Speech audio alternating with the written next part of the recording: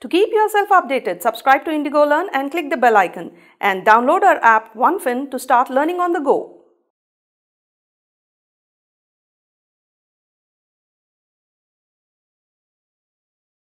Let us now do a quick recap of whatever we have understood in this particular unit.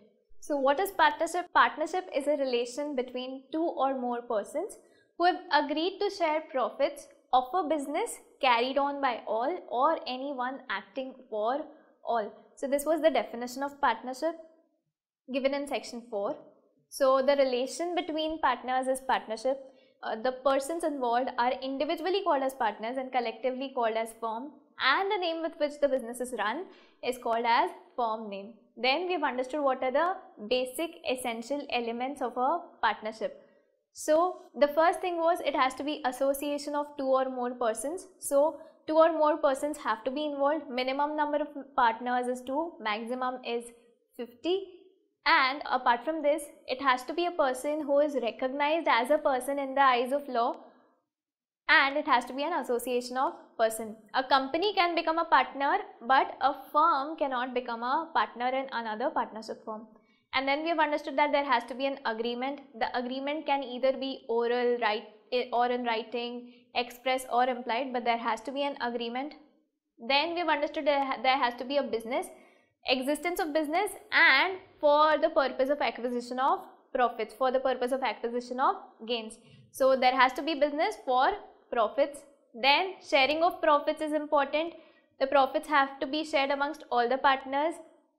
Uh, sharing of losses can happen between all the partners or between a few of them. And in case there is no specific thing mentioned about sharing of losses, then the losses will also be shared in the profit sharing ratio. So that was with respect to sharing of profits. Then we've understood the concept of mutual agency which says that every partner acts as both principal as well as agent of the other partners which means every partner has this binding authority. Every partner can bind the other partners with the act which he is doing. So that was the concept of mutual agency. It is also called as the cardinal principle of partnership. And after this we have understood to determine whether partnership exists or not, three most important things are agreement, sharing of profits and mutual agency. So this is called as true test of partnership and in order to determine the existence of partnership, we'll look at whether there is an agreement. Partnership is a result of agreement and it does not come into existence by operation of law or by status. So there has to be an agreement in case of partnership. There has to be sharing of profits and we'll have to look at how the sharing of profits is happening. We'll have to look at the real intention of the parties in order to ascertain whether the partnership exists or not and with whom the sharing of profits is happening. Sharing of profits with a widow of deceased partner or sharing of profits with an employee will not make them partners in the partnership. So we'll have to look at the real intention. The sharing of profits is also something which happens in a partnership and which is a part of the checklist for true test of partnership. And finally, the principle of mutual agency or the cardinal principle of partnership. Every partner acts as both principal and agent of the other partner and can bind all the other partners with the act which he is doing. So this concept of mutual agency plays a very important role when we are talking about partnership and we've also understood sharing of profits is a primary evidence but not a conclusive evidence in order to determine whether a partnership is there in existence or not. After this we have understood differences between partnership and a company, partnership and a club, partnership and a Hindu undivided family, partnership and co-ownership and partnership and association. So after these differences we have also understood about different kinds of partnership. So first one was partnership at will wherein there is no fixed period neither there is any there are any provision nor there are any provisions for determination of partnership and partnership at will can be dissolved at any time by any partner by giving a notice in writing to the other partners. Then we have understood partnership for a fixed period partnership for a fixed period is what when the partnership is started for a particular time span, for a particular period of time. And as soon as the time span expires, it has to dissolve. If the partnership for a fixed period continues even after the expiry of the fixed period, then that type of partnership will be called as a partnership at will. Then we have understood what is a particular partnership. So it is for a particular business, for a single undertaking, single business transaction or a single venture. So that type of a partnership which is being formed for a particular business is a particular partnership. Then we have understood general partnership which is a normal partnership to do any business in general basically which is not a particular partnership. After this, we have understood what is a partnership deed. So, the partnership agreement is also known as the partnership deed. It may be in writing or may be verbally agreed upon between the partners, but it is always advisable to make this partnership deed in writing so that in case there are any disputes in future, we have a proof.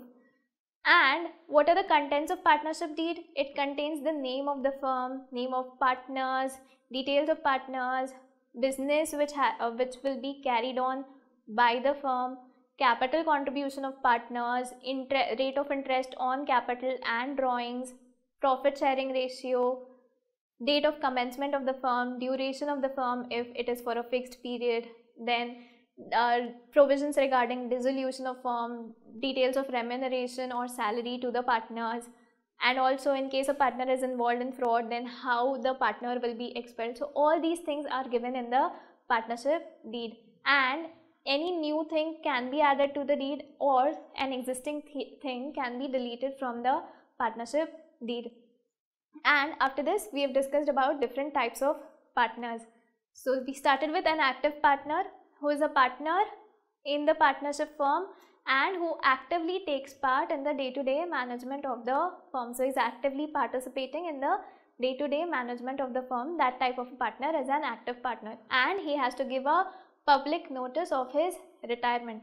Then we have discussed who is the who is a sleeping partner. Sleeping partner is one who is not actively participating in the business of the firm. He is not known to the other people as well. In he is also not known to other people to or to the outsiders. Then we have understood who is a nominal partner. So he is lending his name to the firm. He does not have any interest in the business of the firm. Neither he is sharing any profits. He is only giving his name so that using his goodwill and fame, people approach the firm or the firm gets good contracts and this person will be liable to the third parties because third parties are approaching the firm on the basis of his name. So that type of a partner is a nominal partner. Then we've understood who is a partner in profits only. So this is a partner who is sharing only the profits, not sharing the losses. He is also not liable for the losses. He is liable only for the acts of profits and not the acts of the losses. And after this, we have understood who is an incoming partner, someone who is joining an already existing partnership. He will not be liable for whatever has happened before he joins. An outgoing partner is one who is leaving an already existing partnership he'll be liable for all the acts until he gives a proper public notice. And then finally a partner by holding out, a person who is representing himself or knowingly permits some other person to represent him as a partner then he'll become liable to any third person who is acting on that representation and giving some credit or uh, entering into any business transaction with the firm. So this type of a partner is a partner by holding out or a partner by estoppel and this provision is also applicable in case of a retiring partner or an outgoing partner who has not given a proper public notice. So we have understood all these things in the first unit with respect to partnership. So all these things are basics about partnership. Let us do a quick recap of, of what all the sections talk about. Section 9 talks about the general duties. Partners have to work for the uh, for the greatest common advantage with utmost good faith, disclose all the information, render true accounts.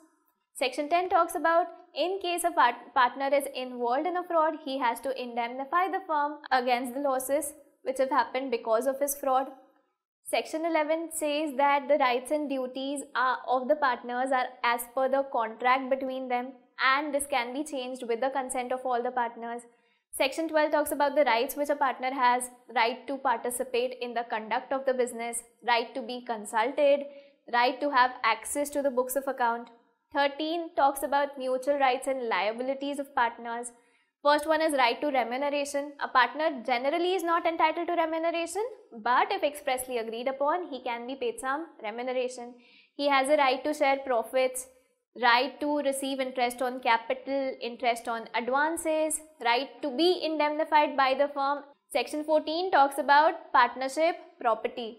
Three things in partnership property. One which has been brought in by the partners, Second, which has been purchased specifically for the partnership. And third is the goodwill. Partnership property has to be exclusively used for the purpose of business of partnership. And this is what section 15 talks about. And a partner's, if a partner's property is exclusively used for the purpose of partnership, it will not mean that it is partnership property. Section 16 talks about a situation where a partner is using business connections or firm name and making some personal profit or he's running a competing business and making some personal profit. So if a partner is making any personal profit using the firm name, business connections or by carrying on a competing business, he has to account for that profit and pay to the firm.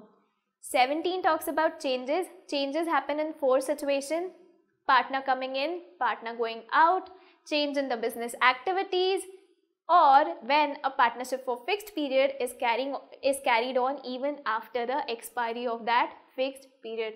In all these situations, the rights and duties of the partners will remain the same as they were eh, previously, as they were before the change had happened.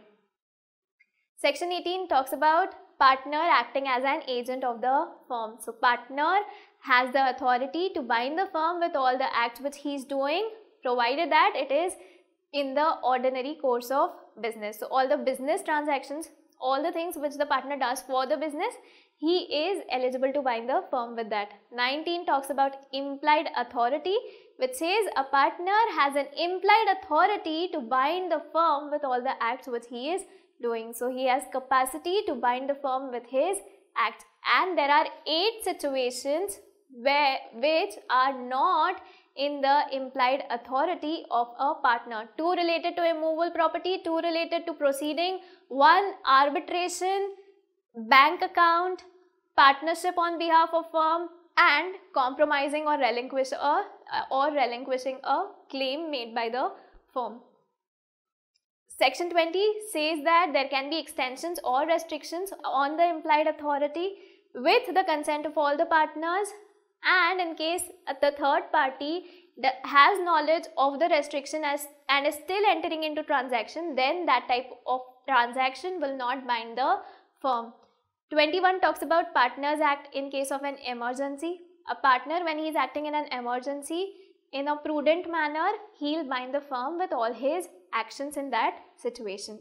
22 talks about the mode in which the transaction has to be done. So, it has to be done for the purpose of business of the firm in the name of the firm and within the authority of the partner. 23 talks about effect of admission made by a partner. Admission here means representations made by a partner.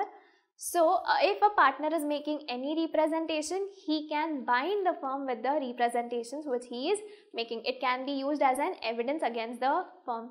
24 talks about notice to an act acting partner. If an active partner has knowledge about certain information, it will be believed that other partners are also aware about it. Notice to active partner is equal to notice to the firm.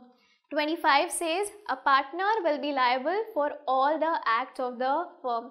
Every partner is jointly and individually that is severally liable for all the acts of the firm. 26 the firm will be liable for wrongful acts of the partner which are done in the course of business of the firm. So, any act of the partner in the course of the business of the firm but wrongful, the firm is still bound by those acts. Remember the fire extinguisher example. And after that, 27 talks about if a partner is misapplying or misusing the money or property of the firm, then the firm is bound by those transactions as well. And the firm will also have to make good the loss which the third party is suffering from. Then we started with section 29 where we've understood in case a partner transfers his share to some third person, then that third person is entitled to have a share in profits but cannot interfere in the management, neither ask have access to the books of account. But in case the firm dissolves or the partner retires, then in that situation the transferee is entitled to his share in the assets of the firm and also have access to the books of account to ascertain his share. 30 talks about a minor partner. Minor cannot become a partner but he can be admitted to the benefits of the firm. If a minor is admitted to the benefits of the firm, he is entitled to a share in the profit.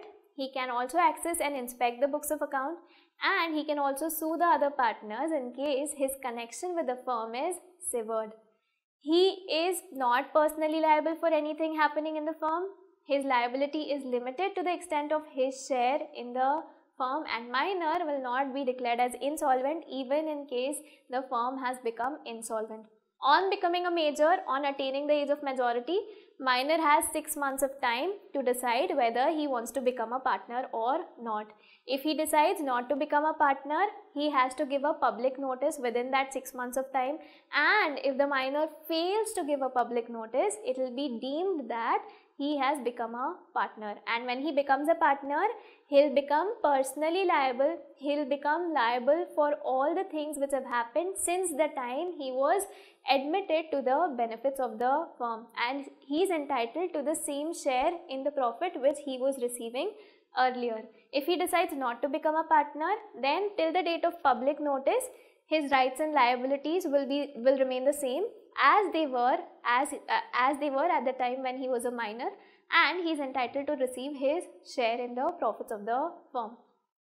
After this, we started with reconstitution of the firm, change in the constitution of the firm. 31, we have understood introduction of partner can happen only with consent of all the partners and this new partner will be liable for the debts of the firm which have been incurred after the date when he becomes a partner. Retirement of a partner 32. A partner can retire with the consent of all the partners as per the express agreement and in case if it is a partnership at will then by giving a notice of his intention to retire to all the other partners. Public notice of retirement is necessary. A retiring partner will be liable for all the acts of the firm till the date of public notice and not after that.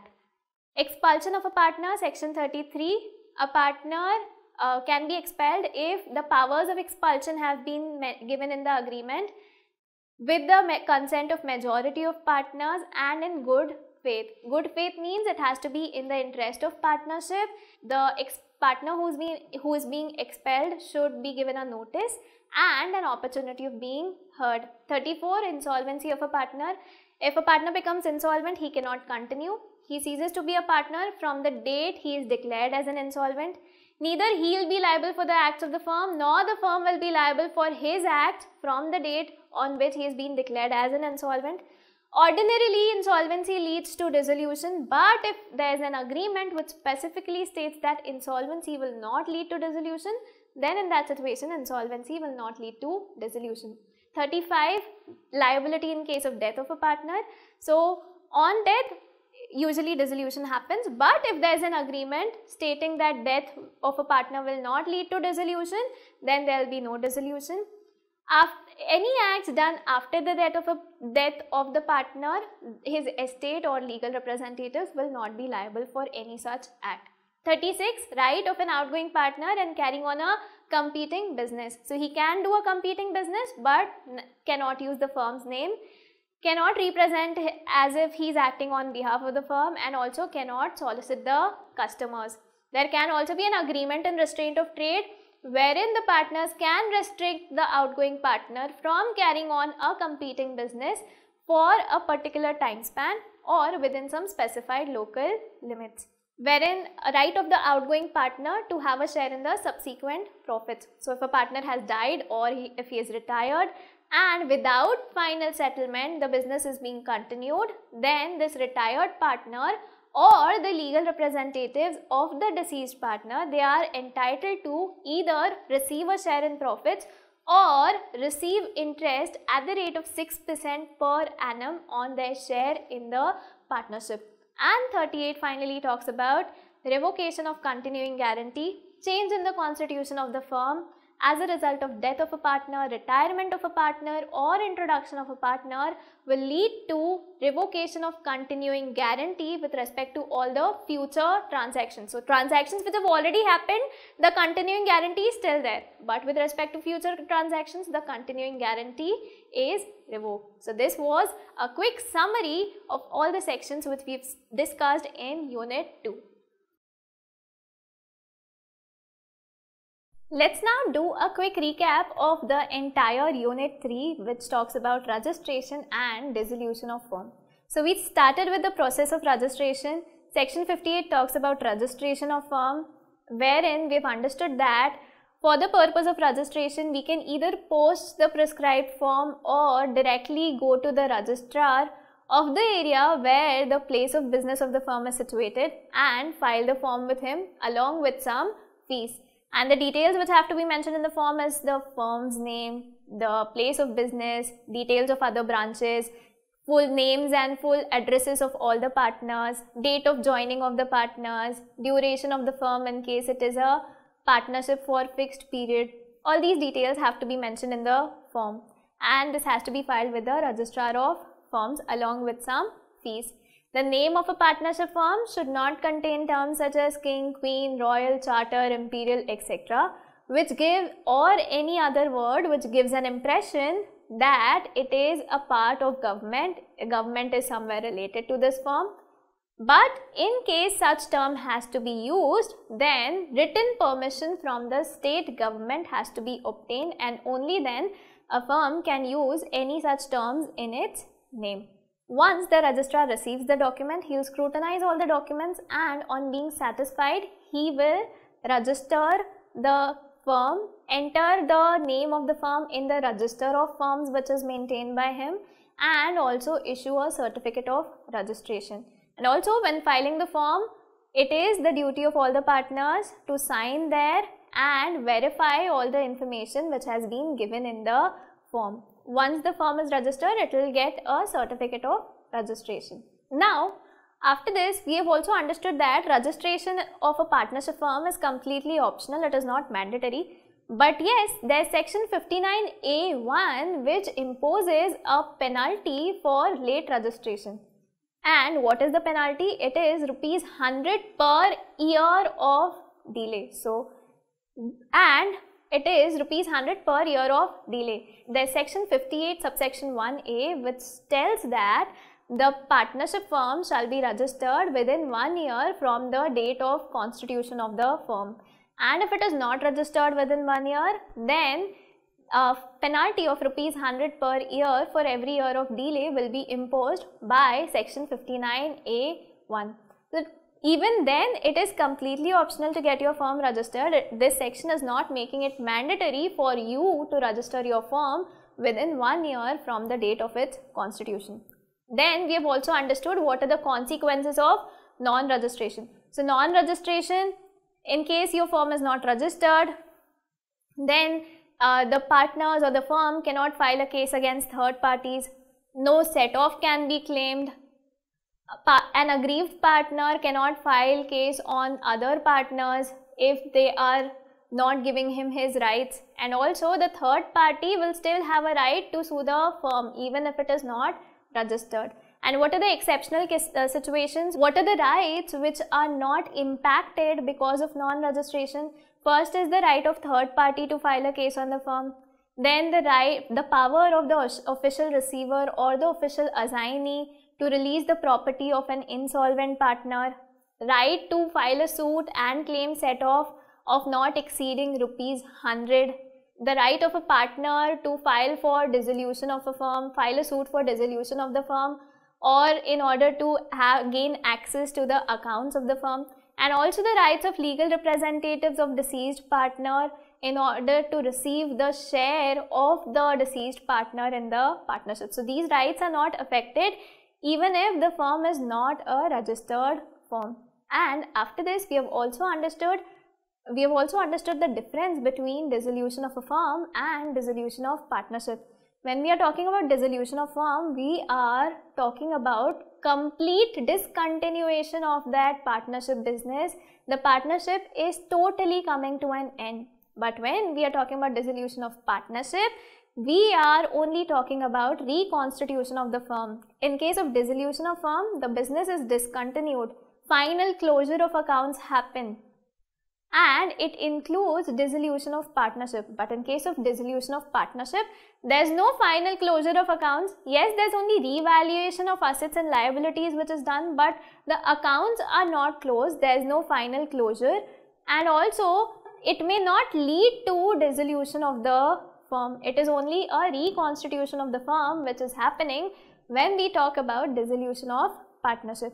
Then we've understood what are the different modes of dissolution of firm. Dissolution of firm may happen without the order of court or with the order of court. Without the order of court, there are four situations. First is dissolution by agreement, where all the partners consent, all the partners mutually agree on dissolving the firm. That is dissolution by agreement. And it is section 40 which talks about dissolution by agreement.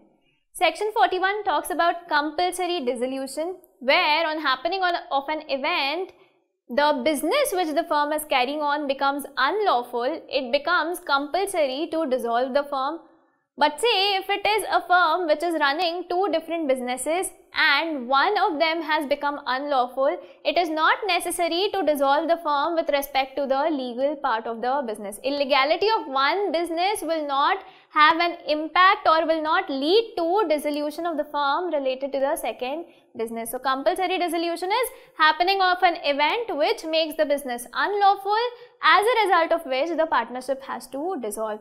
And then 42 talks about dissolution in case of certain contingencies. What are those? And here there are four more situations. One is in case of a partnership for fixed period. On expiry of that fixed period, the partnership firm may dissolve. Second is in case of any business or undertakings which are being carried on by a firm and on completion of that business or undertaking, the firm may dissolve. Third is on death of a partner Fourth is in case of insolvency of a partner. It is not mandatory for a firm to dissolve in any of these four situations, but yes, the firm may dissolve it if it wants to. Uh, if the partners want to dissolve the firm, they may dissolve the firm on happening of any of these contingencies. So, in case of event, it cannot continue at all, but in case of contingencies, the firm can continue carrying on its business. And then finally, we have understood in case of partnership at will, which is section 43. Section 43 talks about dissolution of a partnership at will. A partnership at will can be dissolved at any time by a partner by giving a notice in writing to all the other partners of his intention to dissolve the partnership and if the notice mentions a date that will be considered as the date of dissolution but if there is no date which is mentioned in the notice then the date of dissolution will be the date of communication of the notice. And finally section 44 which talks about the situations where dissolution will happen by the court. So the first situation is insanity of a partner. If a partner who is not a sleeping partner becomes insane, a person of unsound mind, then the other partners may file a suit with the court for the purpose of dissolution of the firm. Second situation is in case of permanent incapacity of a partner. If a partner becomes permanently incapable of performing his duties as a partner, then the other partners may file a suit for the purpose of dissolution of the firm. In case a partner is, the third is in case of misconduct by a partner, if a partner is conducting himself in a ma manner which is causing losses to the firm, uh, which he is indulged in some misconduct, then in that situation again the firm may be dissolved by court.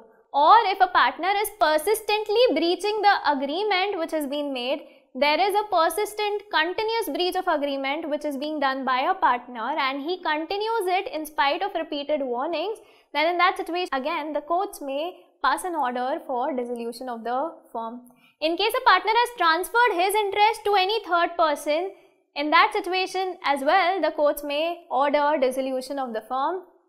If it is a firm which is making continuous losses and there is no scope of profit even in future, then in that situation again the courts may pass an order for dissolution of the firm. And apart from it, if the courts think there are just and equitable grounds to dissolve the firm, the courts may dissolve the firm. Just and equitable grounds could be where there is a deadlock in the management, the partners are not on talking terms with each other, there is loss of substratum or any of the partner has started gambling. So in any of these situations, the court if it has justified reasons, may dissolve the partnership firm. And finally, we have discussed what are the consequences of dissolution of firm. So the first one was section 45 where we've understood that if a partner is doing certain act after dissolution but where public notice of dissolution is not given then the act which is done by the partner will bind the firm. So, giving a public notice of dissolution is very important. This public notice can be given by anyone, by any partner.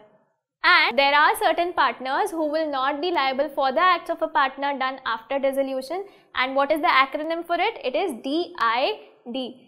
Dormant partner, insolvent partner and estate of a deceased partner are not liable for the acts of the partner which are done after dissolution and without any public notice. So, even if public notice is not given, dormant partner, insolvent partner and estate of a deceased partner are not responsible. After this, we have understood what are the rights of the partner for winding up.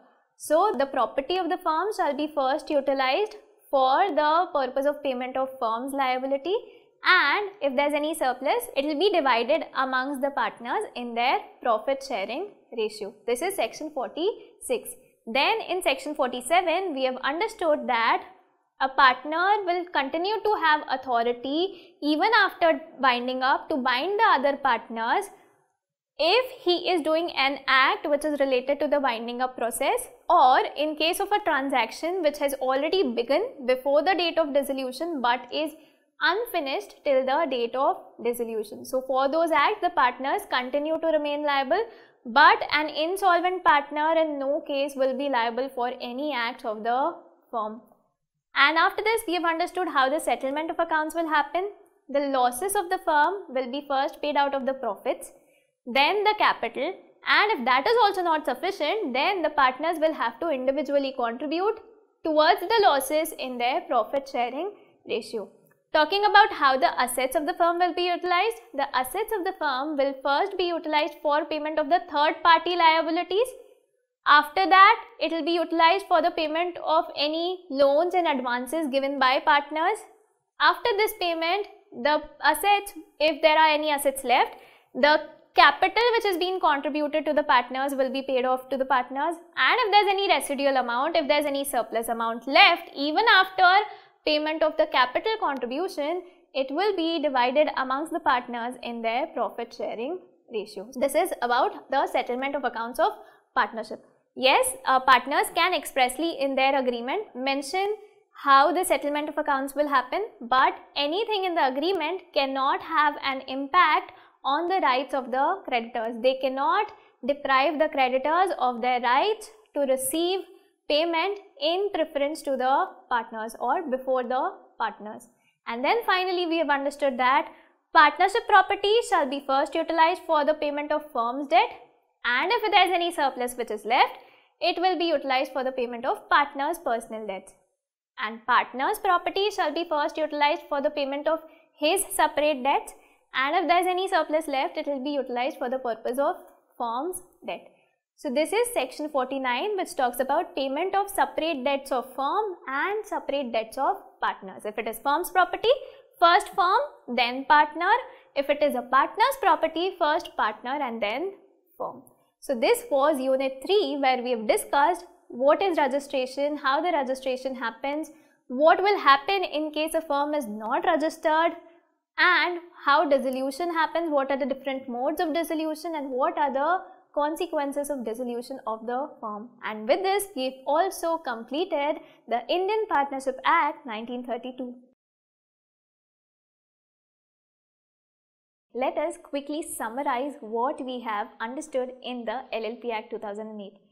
So, the LLP Act 2008 contains 81 sections and 4 schedules. The first schedule talks about the mutual rights and duties of partners. Second schedule talks about conversion of a firm into LLP. Third schedule, conversion of a private company into LLP. Fourth schedule, conversion of an unlisted public company into LLP. So, LLP form of organization is a combination of both company form of organization and a partnership form of organization. It provides the benefit of limited liability as in case of a company and it provides the benefit of flexible structure as in case of a partnership. It is a hybrid of corporate and partnership structure. After that, we have discussed what are the characteristics of LLP. So, we have understood that LLP is a body corporate. What is a body corporate? It is a company an LLP which is incorporated in India or registered under the LLP Act 2008, a foreign LLP or a foreign company and it specifically excludes a corporation sole, a, a cooperative society or any other organization which has been notified by the central government. So, LLP is a body corporate. It has separate legal entity meaning LLP is separate from its partners. It has its own existence and that is the reason why it is also called as an artificial legal person which means LLP is capable of holding property in its own name, having its own bank account and it is also capable of suing others and being sued upon in its own name. So, it is an artificial legal person. The liability of partners of LLP is limited to the extent of their capital contribution. Who can become a partner in LLP? Any individual or a body corporate can become a partner in an LLP. And when an individual is being appointed as a, partner in LLP, it has we have to make sure that the individual is not a person of unsound mind, he is not an undischarged insolvent and he is not a person who has applied in the court for the purpose of declaring him as an insolvent and his application is pending. Basically, an individual and body corporate can become partners in LLP, but when an individual is being appointed, these are certain things which have to be taken care of before appointing him as a partner in a limited liability partnership. And we've also discussed that the concept of mutual agency does not hold good when we are talking about LLP. Why is that so? The partner of LLP is acting as an agent of the LLP but he is not acting as an agent of the other partners of the LLP which means the acts done by the partner do bind the LLP but they do not bind the other partners. And then we have discussed that there is something called as LLP agreement. LLP agreement specifies the rights and duties of the partners. After that there is one requirement and that is requirement of a designated partner. There has to be minimum two designated partners in an LLP and at least one of them should be a resident of India. And who is a resident of India? Resident of India is a person who has stayed in India for a period of 182 days or more in the immediately preceding financial year. So that person will be termed as a resident of India. So there has to be minimum two designated partners and who can become a designated partners? It is only an individual who can become a designated partner. So, in case there are all the partners in an LP are body corporates, then their representatives or their nominees will be appointed as designated partners. And we've also understood that minimum number of partners in LLP has to be 2 and in case the LLP is carrying on business with only one partner for a period more than 6 months, then this partner will become personally liable for all the debts and liabilities which have been incurred by the LLP.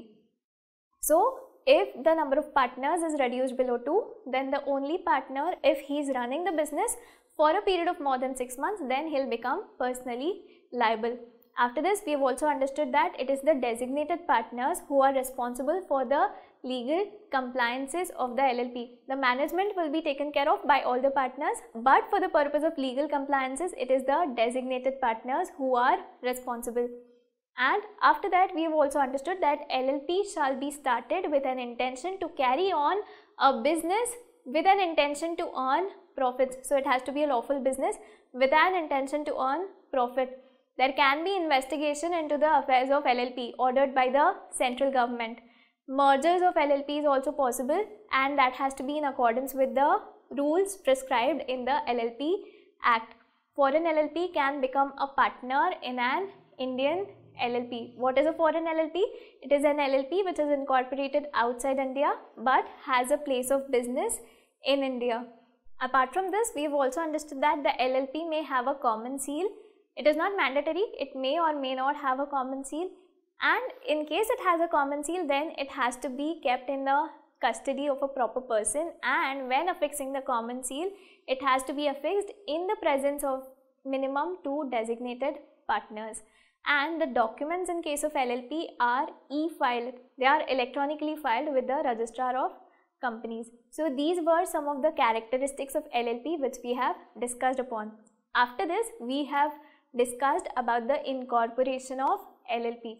So for the purpose of incorporation what was the first thing required? The first thing required was the incorporation document and the incorporation document contains the details such as the name, the proposed business, the details of partners, details of designated partners and any other information which is required for the purpose of incorporation. So incorporation document has to be filed with the registrar and two or more persons they should come together in order to carry on a lawful business with an intention of earning profits an LLP cannot be incorporated for any charitable purposes. So this incorporation document has to be filed with the registrar along with a statement and this statement has to be given by the person who is helping in the incorporation process and at least one of the partners stating that they have complied with all the requirements of the LLP Act and in case it is found that the statement which was made was false then all the every person who has made that statement who has signed on the statement including the chartered accountant will be punished and the punishment is imprisonment which may extend up to 2 years and fine. So both imprisonment as well as fine are there in this situation. So in case there is a default, there there's some false information given in the statement, then the person who is giving this false information will be punished. He'll be punished with imprisonment which may extend up to 2 years and with fine ranging from 10,000 to 5 lakhs. Now after receiving the incorporation document, documents the registrar will go through the documents and within 14 days he will register the limited liability partnership. He'll issue a certificate of registration of the limited liability partnership and the certificate of registration will contain the LLPIN that is the limited liability partnership identification number, the date of registration of LLP and the name of LLP and its address as well. And the registrar he should be satisfied he will issue a certificate of registration only when he is satisfied that the LLP is being incorporated with an intention to carry on a business for profits and for that the registrar says the statement which you are giving is a sufficient evidence for me to understand that you are going to carry on a lawful business for the purpose with an intention of earning profits. So on being satisfied with all the things provided to him, the registrar will issue a certificate of registration of the LLP. The certificate of registration will also contain the address of the registered office. So the registered office uh, why giving the address is important because all the communications which will happen to the LLP or its partners will happen through its registered office. So all the communications will be received at the registered office of the LLP and in case there is any change in the registered office then the registrar has to be informed about the change which has happened. If there is any shift in the registered office it has to be conveyed, it has to be intimated to the registrar. Talking about the name of LLP. So the name of LLP should not contain any term which is undesirable such as central, national or giving an impression that it is a government LLP and it, it shall also not resemble the name of any other firm, LLP or any other body corporate which is already in existence. So, two conditions, it should not be undesirable and it should not resemble the name of any other firm, LLP or body corporate which is already in existence. After that, we have also, also seen that reservation of name is possible and for the purpose of reservation of name form has to be filed with some fees with the registrar. The registrar on being satisfied he that this name is does not contain any undesirable terms or it is not similar to the name of any other uh, any other organization already in existence then he will reserve the name. But there is a time period for which the name will be reserved and that is 3 months. The name will be reserved for a period of 3 months which means the LLP has to be incorporated with that name within 3 months but if it is not incorporated then any other person is free to use that name. So the name reservation is valid only for a period of 3 months. It can be for the purpose of incorporation of a new LLP or it can be for the purpose of change in the name of LLP. In both the situation, reservation of name of the LLP is possible. So we have understood about the naming process, then we have discussed about reservation of name of LLP and then we have discussed about one thing which was change in the name. So in case by mistake or mistakenly the LLP has been incorporated with a name which is similar to the name of any other organization or which contains some undesirable terms, then the central government will give an instruction to the LLP to change its name and on receiving the instruction of the central government within 3 months the LLP has to change its within 3 months the LLP will have to change its name. So this is a situation wherein the central government will give an order that change your name because it is very similar to name of some other LLP or company or it is it contains some terms which are undesirable and in that situation central government will also say that you have 3 months of time to change your name. And within those 3 months the LLP is required to change its name.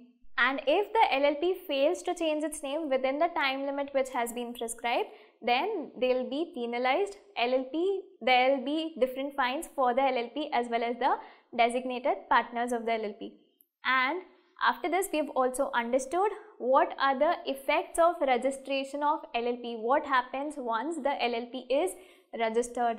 So, section 14 talks about effects of registration and what was the acronym we have for it? We have the acronym COPS for it. So, C stands for the cases. LLP can now file case on some third person or third person also can file a case on LLP. So, LLP on registration becomes eligible to sue others and to be sued upon by others. Then O stands for any other act which any other body corporate is eligible to do. The LLP will also be eligible of doing such acts. P stands for property. LLP on registration is now capable of holding, acquiring, transferring any kind of property, movable, immovable, tangible, intangible. And S stands for the seal common seal. LLP may now have a common seal if it decides to have a common seal. So this was with respect to the incorporation process. So the first thing for incorporation is filing e-form 1 for the purpose of reservation of name. Then filing e-form 2 with the incorporation documents and all the other details. And then filing e-form 3 with state which is the LLP agreement which has to be filed within 30 days from the date of incorporation of LLP. We discussed all the incorporation process. After the incorporation process, we have discussed about partners and the relationship between the partners of LLP.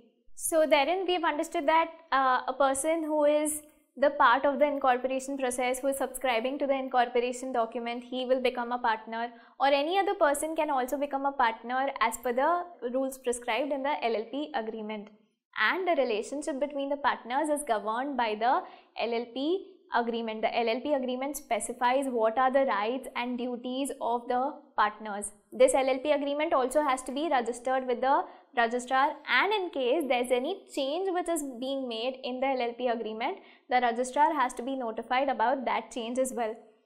And we've also seen a situation wherein the LLP agreement is made even before the incorporation of LLP. What will happen in that situation? So in that situation, if the LLP agreement is ratified by all the partners after the incorporation of LLP, then the LLP will be bound by the acts which have happened between the date of agreement and the date of incorporation. And in case there is no specific LLP agreement which has been made, then the rights and duties of the partners will be governed by the first schedule. The first schedule talks about rights and duties of partners. So in absence of LLP agreement, the rights and duties will be governed by the first schedule. After this, we have discussed about cessation of a partner. In that, we have understood that the partner uh, will cease to be a partner in accordance with the LLP agreement and in absence of LLP agreement, if a partner intends to resign, he has to give a minimum notice of 30 days. If he wants to discontinue as a partner, he has to give a minimum notice of 30 days. And the other situations wherein a person will cease to be a partner is on death of the partner or in case of dissolution of LLP or in case the partner becomes a person of unsound mind or he is declared insolvent or he is applied for insolvency then in all these situations a person will cease to be a partner of LLP and we have also seen one unique situation wherein uh, the former partner will still be liable for the acts and it is a situation where a person is dealing with the LLP under an impression that the former partner is still a partner or it could be a situation wherein the registrar has not received notice of the former partner ceasing to be a partner. So, in these two situations, the former partner will be liable for the acts of LLP. And when a person ceases to be a partner, he is entitled to receive some amount from LLP. The amount is the amount of the capital he has contributed and his share in the accumulated profits after the deduction of accumulated losses. He is entitled to receive all these amounts from the limited liability partnership. And the person who ceases to be a partner or say there is cessation because of death or insolvency, then in that situation, the former partner or in case of death, the legal representative of the deceased partner, they cannot interfere in the management of affairs of the LLP. He is no longer a partner, so he no longer has a say in the management of affairs of the LLP. So, we have discussed about the cessation of partnership interest and after this we have also discussed that if there's any change in the name or address of the partner, the partner will have to first inform the LLP and the partner has to inform the LLP within 15 days of such change. Once the LLP receives such information, the LLP will have to inform the registrar and the LLP will have to inform the registrar within 30 days. And we've also understood that in case there's a new partner coming in the uh, LLP or there's a partner who is moving out of the LLP, then in that situation as well, the LLP will have to inform the registrar and it will have to inform the registrar within 30 days from the date when a person is joining the firm or a person ceases to be a partner in the limited liability partnership. And in case of an incoming partner, the LLP will have to give an additional document and that is the consent of the person joining in as a partner. So the LLP will have to file a form along with fees and in case of incoming partner there is one additional thing which the LLP will have to file with the registrar and that is the consent of the incoming partner and failure to do any of these things, failure on the part of the LLP to inform the registrar about any such changes, then LLP as well as the designated partners will be penalized with some fine. And we have also understood that when a person ceases to be a partner and he thinks that the LLP will not inform the registrar about him no, not being a partner anymore, he can himself approach the registrar and give a notice to the registrar about him ceasing to be a partner of LLP and on receiving such an information the registrar will send a notice to the LLP to obtain confirmation and if the registrar does not obtain any confirmation from the LLP within 15 days then the registrar will make that change in his register he will make that change in his register. So a person can himself also give a notice to the registrar about him ceasing to be a partner. So after this we have discussed about the extent and limitation on the liabilities. So we have understood that a partner of an LLP acts as an agent of the LLP but he does not as act as an agent of the other partners which means the partner is capable of binding the LLP with the acts which he is doing but he is not capable of binding the other partners with the act which he is doing. And we have also seen that the LLP will not be bound by the act of the partner if the act has been done by the partner beyond his authority. If he does not have power to do that act and he's still doing it and the person who with and the third party with whom he is dealing that party is also aware of the fact that this partner does not have authority then the LLP will not be bound by the acts which are done by the partner. Or if the third person with whom the partner is dealing is not even aware that this person is a partner then in that situation again the LLP will not be bound by the acts of the partner. But in a situation wherein a partner is acting in the normal course of business and within his authority then in that situation even if there's some wrongful act or some omission which has happened by the partner the LLP will still be liable for those acts and the obligations which are there on the LLP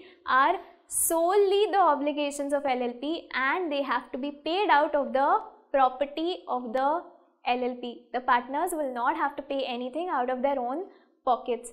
Talking about the partner's liability, the partner's liability is limited to the extent of their capital contribution but in case of any wrongful act or omission done by them, they will become personally liable for that particular act which has been done.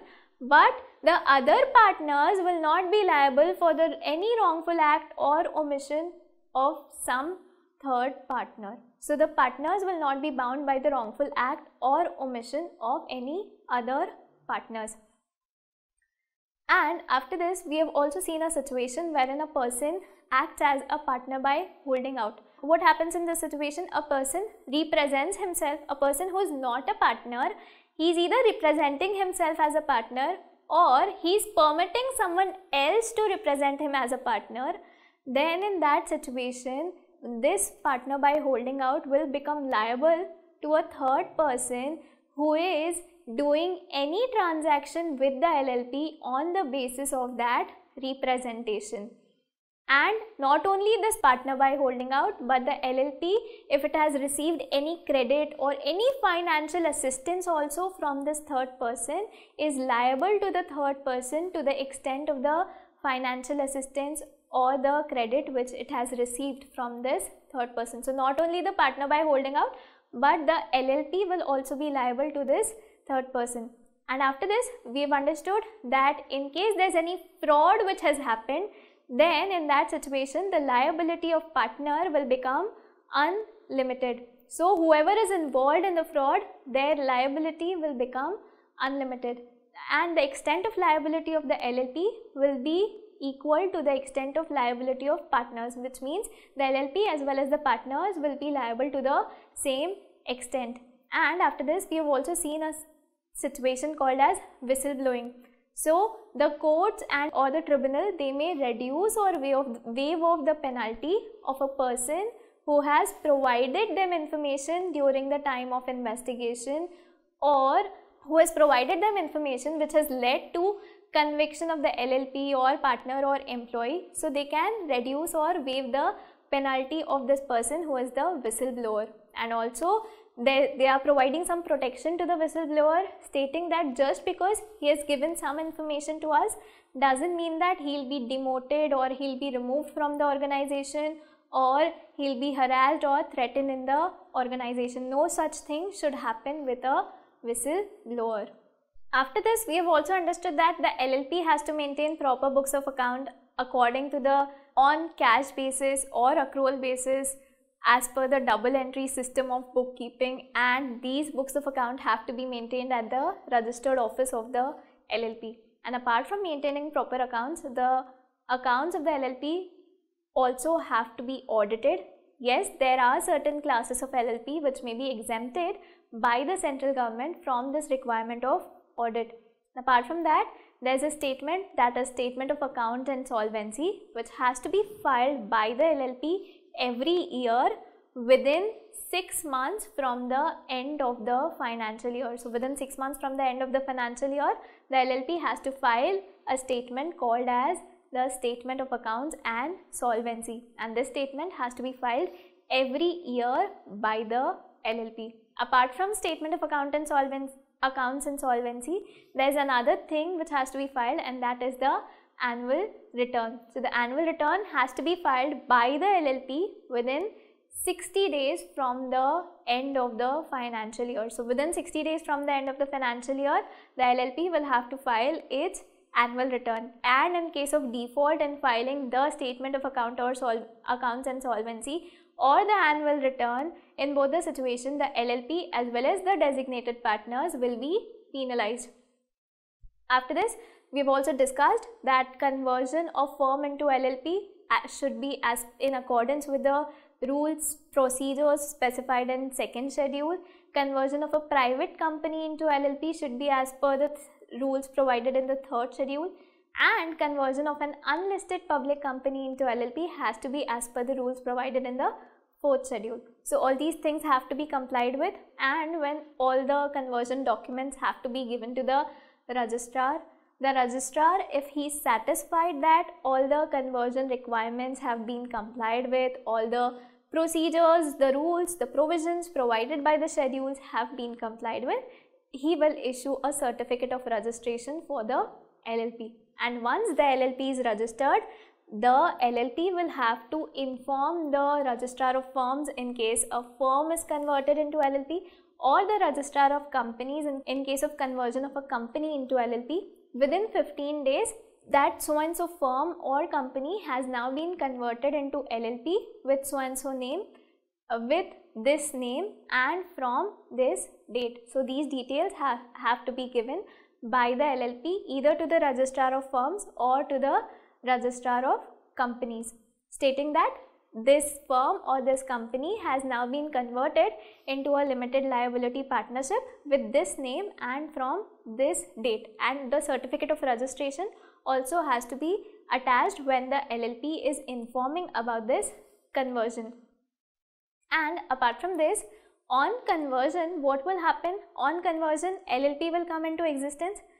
But apart from that, all the properties, all the assets and the liabilities which were previously in the firm or the company will now become the assets and liabilities will now be transferred to the LLP and will now become the assets and liabilities of the LLP as well and the firm or the company which were previously in existence now they will be deemed to be dissolved. It will be deemed that they have closed down. So this was with respect to conversion of LLP. After this we have discussed about winding up and dissolution of LLP. So winding up, winding up of LLP can either be voluntary or by the tribunal. Voluntary means the, the partners of the LLP they, they themselves go and they wind up the LLP and in case of tribunals winding up there are different situations wherein the tribunal will order or wherein the tribunal will wind up the LLP. So, the first situation is wherein the LLP itself wants to wound up by the tribunal. The second situation was wherein for a period of more than 6 months the LLP is running with only one partner. Third situation was where the LLP is unable to pay off its debts Fourth situation was where the LLP is doing an act which is against the interests of India, against the sovereignty of India. If the LLP is indulging in any such thing, then the LLP will be wound up by the tribunal.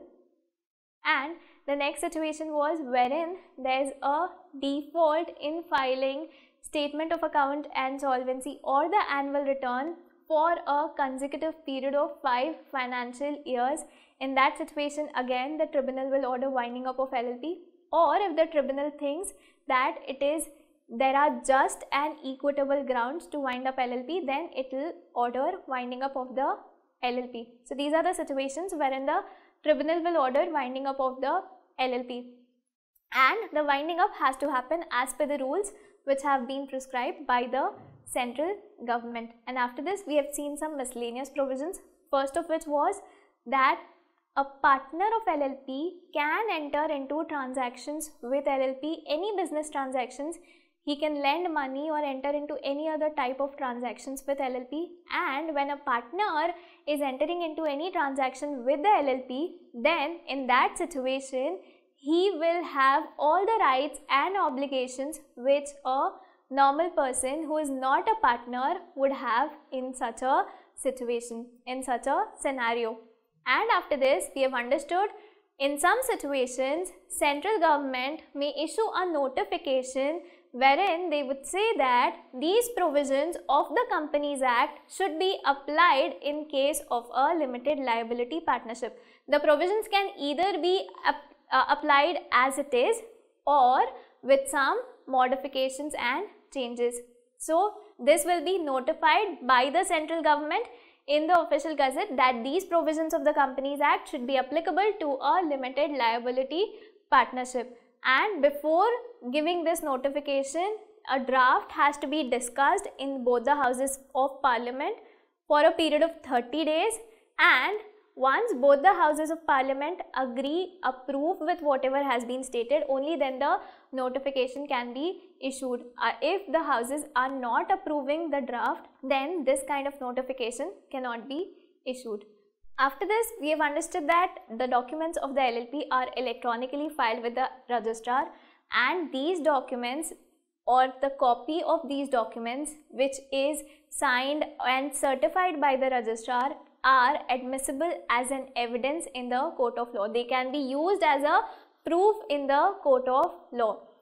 And after this, we have also understood in some situations, documents can be filed with the registrar on payment of additional fees. So, in a situation, the forms or the documents are not filed with the registrar until the due date, then the document can be filed up to a period of 300 days after the expiry of the due date by paying an additional fees and the additional fees is rupees 100 per day of delay. So the normal fees will have to be paid but in addition to the normal fees rupees 100 for every day of delay has to be paid in order to file this document with the registrar and it can be filed up to a period of 300 days. But yes, there may be cases wherein you can file this document even after the expiry of 300 days.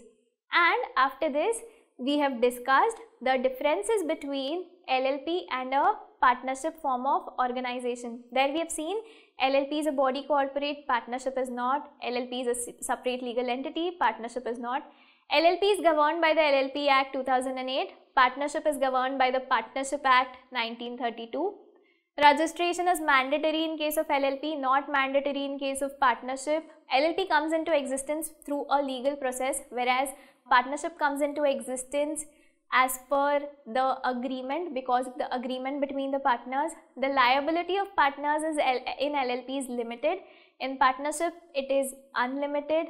Mutual agency does not exist in LLP. It exists in case of partnership. There's this concept of designated partners in case of LLP which does not exist in case of partnership there has to be minimum two designated partners here in case of LLP but there is no such thing no such requirement when talking about a partnership firm and apart from this foreign nationals can become partners in an LLP but they cannot become a partner in a partnership firm a minor cannot become a partner in LLP but a minor can be admitted to the benefits of a partnership firm and we've also understood that the name of LLP should contain the suffix LLP but no such requirement in case of partnership firm's name. LLP may have a common seal, no such requirement in case of partnership. There are certain legal compliances which have to be done and it is taken care of by the designated partners but in case of partnership all the partners they together take care of the legal compliances. There are some annual compliances in case of LLP wherein the LLP has to file a statement of accounts insolvency and annual return every year with the registrar but there is no such requirement in case of a partnership. They do not have to file any document with the registrar and also LLP has perpetual succession but partnership does not have any perpetual succession. So these were some of the differences which we have understood between LLP and a partnership. After this we have also discussed the differences between a limited liability partnership and a company. So LLP is governed by the LLP Act 2008 and companies are governed by the Companies Act 2013. LLP's name shall contain the suffix LLP or limited liability partnership. Name of company, if it is a private company, should end with the words private limited. Public company should end with the words limited. Minimum number of partners in LLP is 2. Minimum number of members in a company, if it is a private company, it is 2. If it is a public company, it is 7. Maximum in case of a private company is 200 and in case of public company there is no limit and here as well in case of LLP there is no maximum limit to the number of partners. The people who contribute capital in case of LLP are called as the partners. The people who are investing into the shares of the company are the members of the company. Internal governance structure is as per the agreement and decided by the partners. Internal governance structure in case of a company is prescribed by the Companies Act the management in case of LLP is in the hands of the partners. All the partners together manage the affairs of the LLP. Management in case of a company is in the hands of the board of directors. The board of directors they take care of the management of affairs of the company. Minimum two designated partners have to be appointed in case of a partnership. There has to be minimum two designated partners. And talking about a company, a company if it is a private company, it should have minimum two directors. And if it is a public company, there has to be minimum three directors which are present in the company. And finally about the liability, the liability of partners in case of limited liability partnership is limited to the extent of their capital contribution. And the liability in case of members of a company is limited to the extent of unpaid value on shares or the agreed contribution depending on whether it is a company limited by shares or a company limited by guarantee. So these were some of the differences which we have understood about LLP and a company. So with this we have summarized all the things which we have discussed in the LLP Act. So LLP form of organization is a flexible structure with limited liability and any form of organization, any form of business can be done by setting up an LLP. It can be any form of trade, service, occupation, anything can be done by setting up an LLP. So LLP is a new form of legal business entity and it is an alternative to the corporate form of organization wherein which provides both limited liability as well as flexible structure.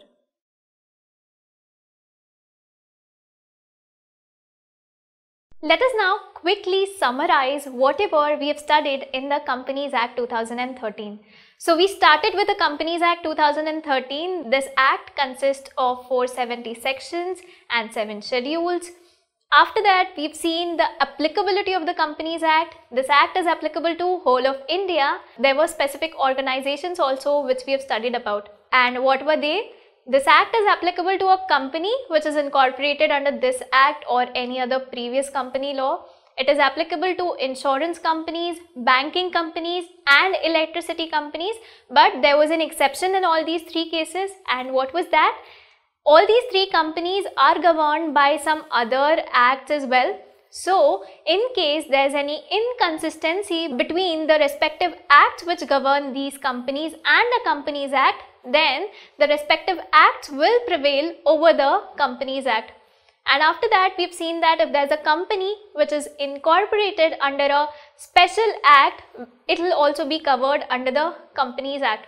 The Companies Act will also be applicable to a company which is incorporated under a special act. And for example, we've seen two organizations like Life Insurance Corporation and State Bank of India.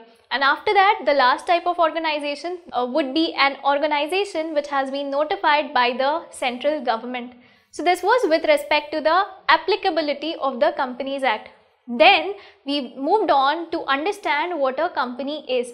So, a company as defined in the Companies Act 2013 defines company as a company which has been incorporated under this act or any other previous company law. So, it can either be a company formed under the Companies Act 2013 or, or any previous company law. And then we've discussed what are the features of a company. Therein we've seen a company is a separate legal entity for which we understood the case law of Lee versus Lee's Air Farming Company Limited. Then we discussed that company has perpetual succession which means member may come, member may go but the company goes on and on until and unless it is legally wound up. We have seen that the liability of members in a company is limited and that a company is an artificial legal person it may have a common seal. It is not mandatory for a company to have a common seal, but it may have a common seal and that the property of the company is the company's property and not the shareholder's property. The shareholder cannot call the company's property as their common property. So these were some of the features of the company which we have seen. And then we moved on to a theory called as the corporate veil theory wherein which, which stated that the company is different from its members and for that we have discussed the case law of Salomon versus Salomon and Company Limited which was the landmark case law for the concept of separate legal entity and also for the concept of corporate veil theory.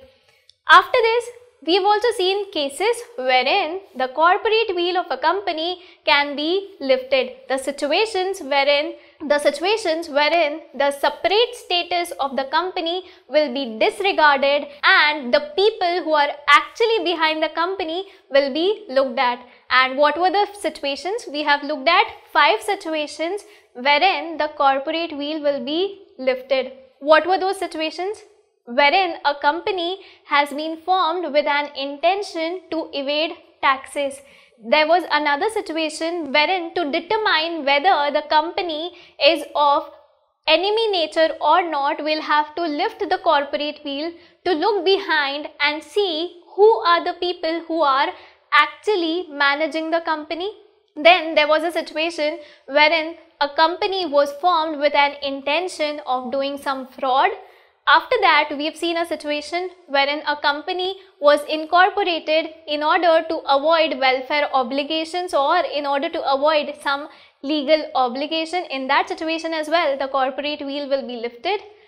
And finally, if a subsidiary has been incorporated just to act as an agent of its holding company, then in that situation, again, the corporate veil will be lifted. So there were these five situations are situations wherein the lifting of corporate veil happens. After this, we discussed several different types of companies. First, categorization was on the basis of liability. And here we have discussed about three types of companies. Company limited by share, where the liability of member is limited to the extent of unpaid value on the share and this unpaid value can be called at any time either during the existence of the company or at the time of winding up. After this, we have seen a company limited by guarantee wherein the liability is again limited but to the extent of amount of agreed contribution and this amount can be called only at the time of winding up of the company. And finally came an unlimited company wherein the liability of its members is unlimited. Again, the liability becomes unlimited only at the time of winding up of the company. And if a person ceases to be a member of an unlimited company, then his liability in that company also comes to an end. Then we have discussed about categorization of company on the basis of number of members. First came a one person company which has only one person as its member and the memorandum of one person company shall state the name of a person called as nominee. Who is a nominee? Nominee is a person who will take care of the affairs of the company in case of death or incompetency of the member of the company. And before appointing a person as a nominee, his written consent has to be obtained. Nominee can be changed by the member at any time and also the nominee has a right to withdraw his or her consent. And one person company cannot be incorporated as a section 8 company. Also, it cannot be converted into a section 8 company. But yes, it can be converted into a public company or a private company.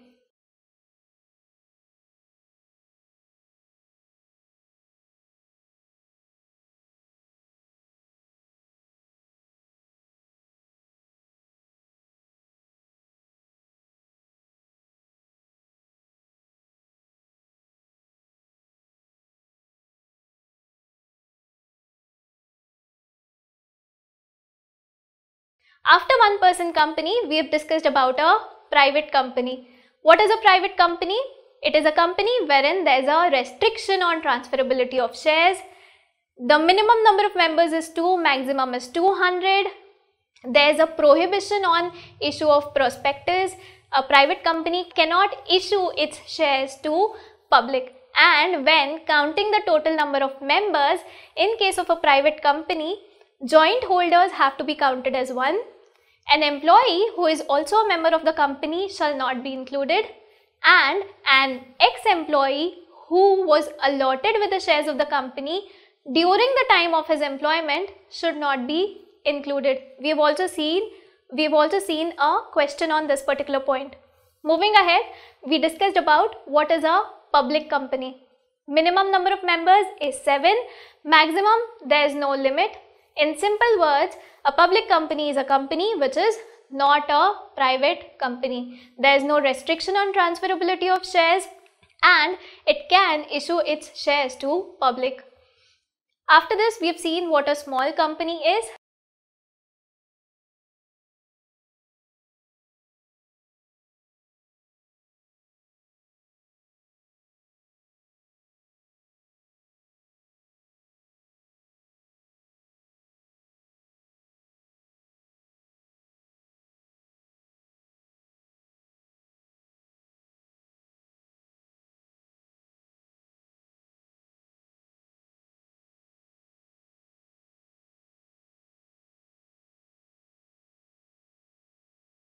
After this, we have discussed categorization of company on the basis of control. And here we have discussed about three types of company, holding company, subsidiary company and associate company. So what is a subsidiary company? A company where the holding company controls the composition of board of directors or exercises control over more than 50% of the total voting power and understand it is more than 50% which means even if a company holds 50% of the total voting power, it will not be termed as a holding company. It has to be more than 50%. And in that situation, the, the company will become a holding company and the other company in which it has this controlling power will be termed as a subsidiary company.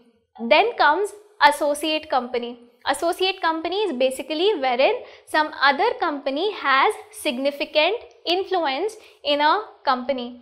What does significant influence mean? It means controlling at least 20% of the total voting power which means if the percentage of voting power ranges between 20% to 50% it becomes an associate company and if it is more than 50% then the company will become a subsidiary company. Moving ahead we have discussed about government companies. What are government companies? Government companies are those wherein at least 51% of total paid up share capital is held by central government or state government or partly by central government and state government. We have also discussed about listed and unlisted company. Listed companies are those whose shares are listed on a recognized stock exchange and unlisted companies are those which are not listed companies. Then we have discussed about section 8 company. Section 8 companies what? These are companies which are formed with objective of promotion of arts, science, culture, commerce, environment, uh, protection of environment, education, etc. These are basically non-profit organizations and they use their profits for the purpose of promotion of their objectives and do not distribute any dividend to their members. These type of companies require license from the government.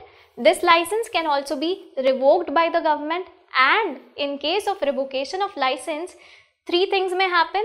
The government may either order winding up of the company or amalgamation of this company into any other company with similar objectives or may change its name add the words limited or private limited to its name and convert the company into a private company or a public company. Then there came foreign company. Do you remember the Domino's example we have taken?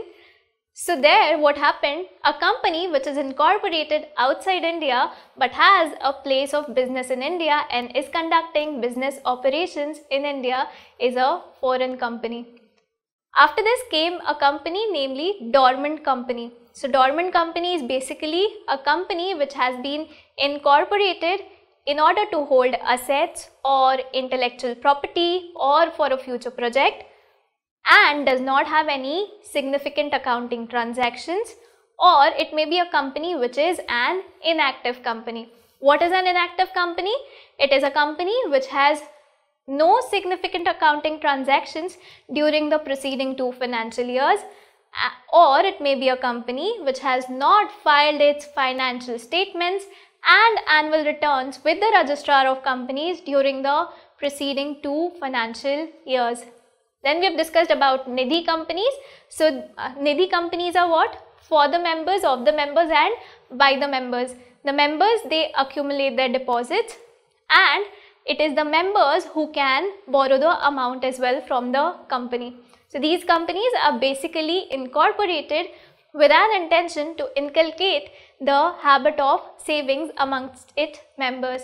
Then we have discussed about what public financial institutions are. Therein we have seen Therein, we have discussed uh, that Life Insurance Corporation, Unit Trust of India or any other institution which has been notified by the government can be called as a public financial institution. And what kind of institutions can be notified by the government as public financial institution?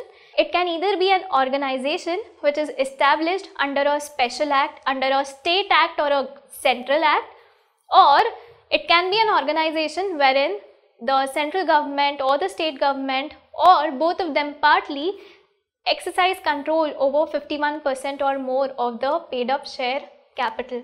So with this we completed all the types of company. With this we, we understood about classification of company into different types. Then we started with incorporation of company and for that what is the minimum requirement? There has to be minimum number of members. One person company it is 1, for private company it is 2 and for public company it is 7.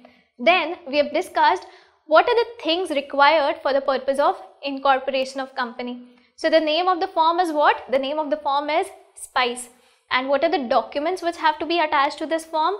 The Memorandum of Association, Articles of Association, two declarations one by the first directors and subscribers to the memorandum stating that they are not convicts and they are not found guilty of any fraud during the last 5 years and all the information which they are providing is true and correct. Second declaration by the person who is engaged in the formation of company as well as the subscribers to the memorandum stating that they have taken care of all the provisions of the Companies Act for the purpose of incorporation of the company.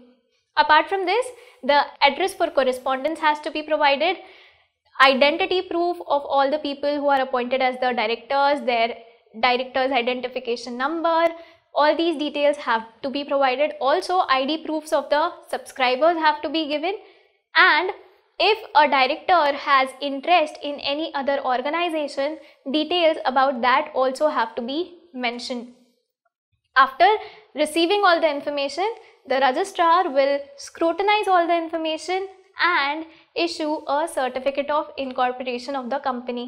The certificate of incorporation will contain a number called as the corporate identification number which is a unique identification number for a company. And all the documents which were filed with the registrar for the purpose of incorporation of company have to be maintained at the registered office of the company.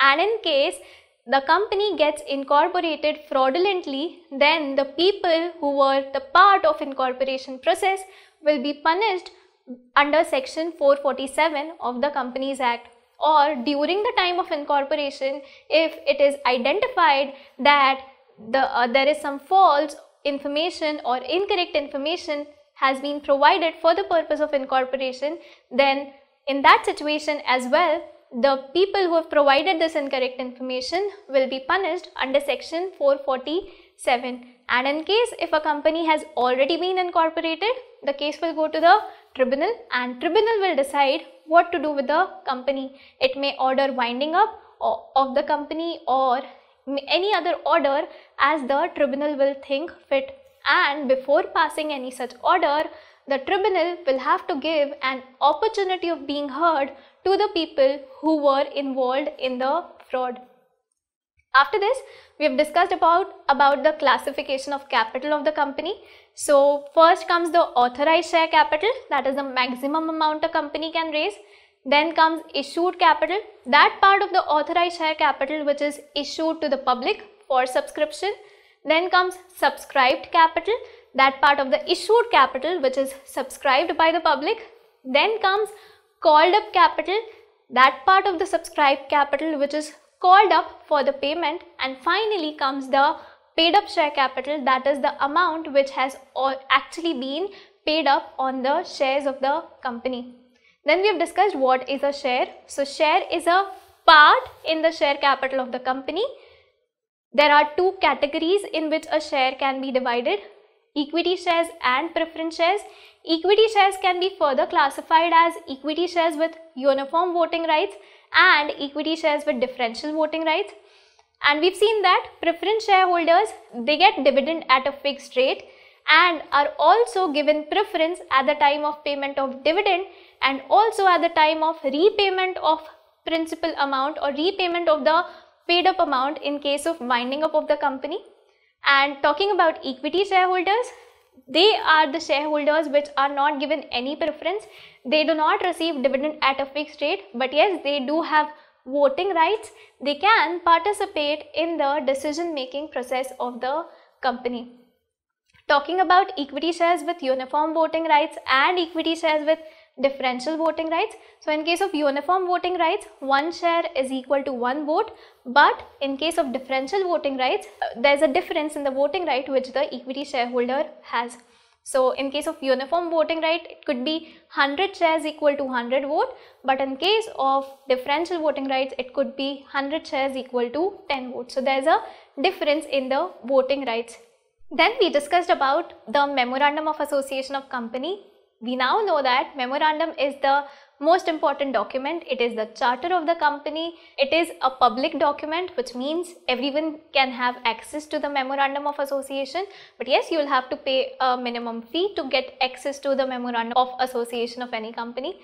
We have discussed that memorandum of association is divided into different clauses. The first clause is name clause which states the name of the company. If it is a public company, the name ends with limited private company name ends with private limited and in case of one person company the words one person company have to be mentioned besides or below the name of the company. Then comes registered office clause which shall give the details of the state in which the registered office of the company is situated. Then comes the object clause. Object clause is what which states the purpose which, with which the company has been incorporated, the scope of the organization and the powers which the organization have. Then comes the capital clause which states what is the authorized share capital of the company and its division into shares and face value of each share. After this comes the liability clause which states whether the company is a company limited by shares or a company limited by guarantee or an unlimited company. And finally comes the subscription and association clause wherein all the subscribers to the memorandum they'll have to take at least one share each and will have to make signatures there in the subscription clause of the memorandum in presence of a witness. There has to be a witness present when all these signatures are happening.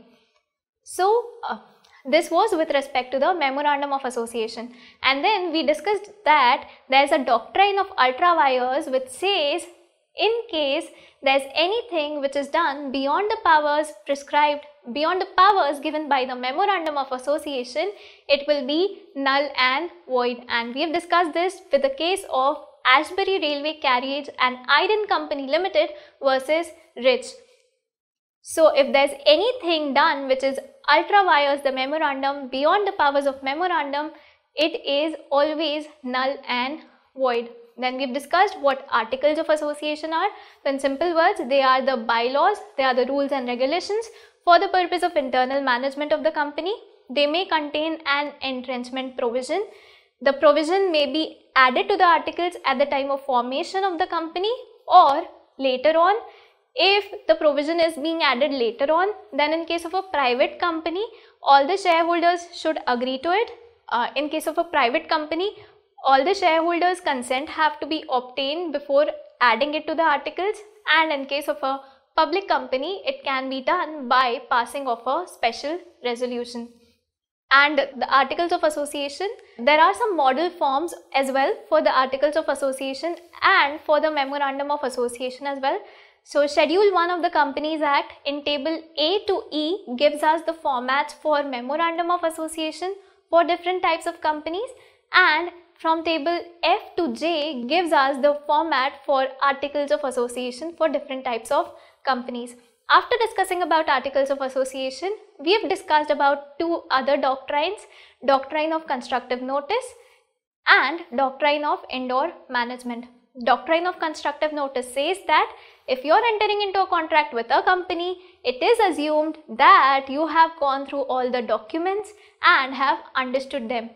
Whereas there came an exception to this doctrine of constructive notice in the form of doctrine of indoor management which says that a person cannot be aware of how the internal affairs of the company are being controlled and this was decided in the case of Royal British Bank versus Turquand and this is the reason why it is also called as the Turquand rule. This doctrine of indoor management also has certain exceptions. There are three exceptions to this doctrine of indoor management and they are when a person actually has knowledge about any irregularity and he's still entering into a contract with the company then he'll not be safeguarded if there is some suspicion of irregularity and the person himself acts negligently, in that situation again he'll not be safeguarded under the doctrine of indoor management and in case of forgery again there is no safeguard from the doctrine of indoor management. This was a quick summary of the Companies Act.